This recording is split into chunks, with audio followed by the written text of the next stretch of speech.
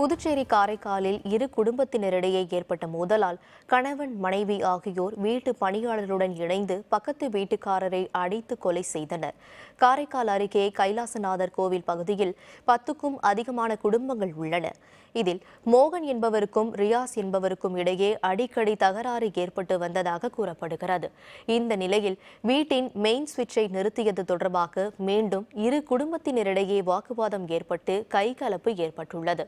அப்போது ரியாஸ் தனது மனைவி பதுருனிசா மற்றும் வீட்டு பணியாளர் ராம் தீபக் உதவியுடன் மோகனை பலமாக தாக்கி தள்ளிவிட்டுள்ளார். இதில் நிலை குலைந்த மோகன் அருகில் உள்ள சுவரில் மோதியதில் தலையில் பலத்த காயம் அடைந்து நிகழ்விடத்திலேயே உயிரிழந்தார்.